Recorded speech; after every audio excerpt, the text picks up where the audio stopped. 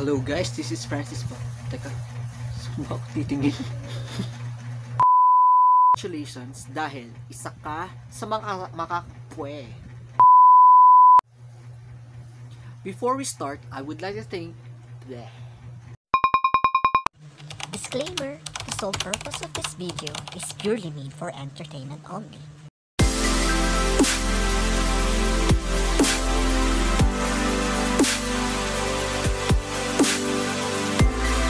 Hello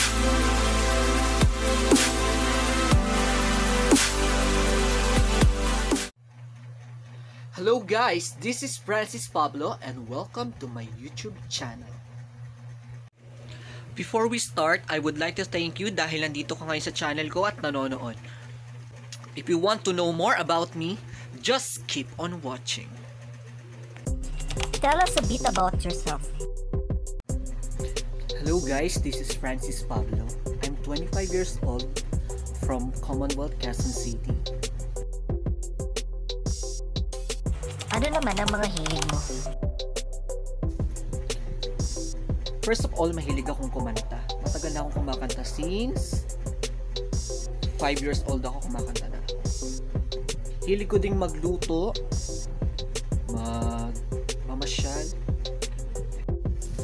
Nakailigan ko din yung mag-business. Bale, dati pa lang bata pa lang talaga ako nagbi-business na ako. Talagang libangan ko lang siya dati kahit wala akong kitain. Talaga nagbi-business na talaga ako.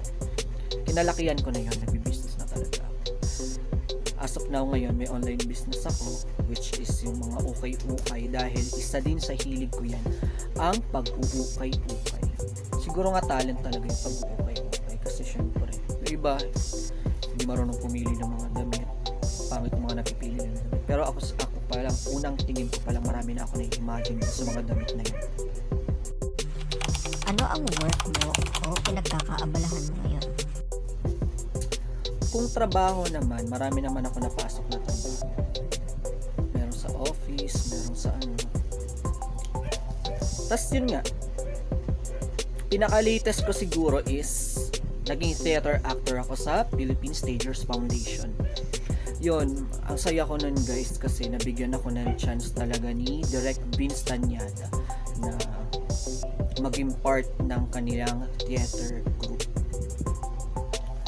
So yun, dahil sa Philippine Stagers Foundation, nakalibot ako doon sa mga lugar na hindi ko naman na, napupuntahan.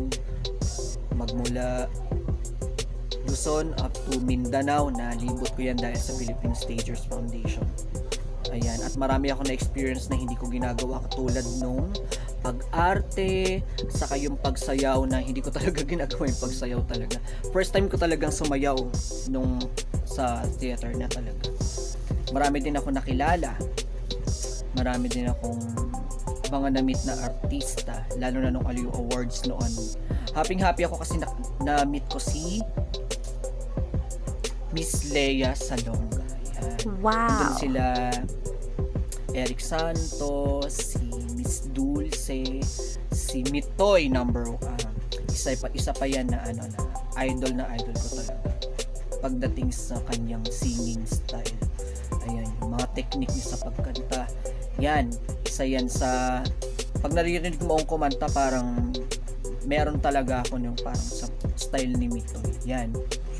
Pwede nga. Of course, yun nga, Lea Salonga. Sino pa bang nakita ko dun? Si Mr. Ray Valera. Nandun din that time. So yun, ang happy-happy ko talaga nun kasi na-meet ko si Miss Lea Salonga. At hindi ko lang siya na-meet ha.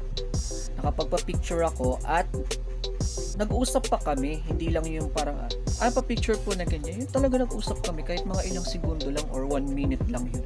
Nakapag-usap talaga kami. Kasi ano pa lang nun, sound check pa lang nun guys, nandun ako sa Manila Hotel. Eh, usually talaga maaga talaga ako lagi. Ano ko na habit ko na talaga yun na kapag sa call time talaga maaga ako before call time. Nandun na ako. After ko sa theater, bumalik ako sa pagiging talent agent. Ayun. Sa Japan itong tinutukoy ko. Nagpapaalis ako ng mga singers, dancers, yan, going to Japan, yung mga willing. Pero before yun, naglaylo na din ako ngayon, tapos eto, nag-focus ako sa pag-vlog ko. Marami na ako napaalis guys ng mga talents sa'yo. Kaya proud naman ako sa sarili ko na marami ako natulungan sa ilang years ko ng pagpapaalis. Ayan. Marami akong natulungan na mga applicants at maraming nabago ang buhay dahil doon. Kahit na sabihin natin hindi siya ganun ka-financially rewarding yung pagiging talent agent. Kasi matagalan ng sahod. Hindi naman monthly yung kinikita namin.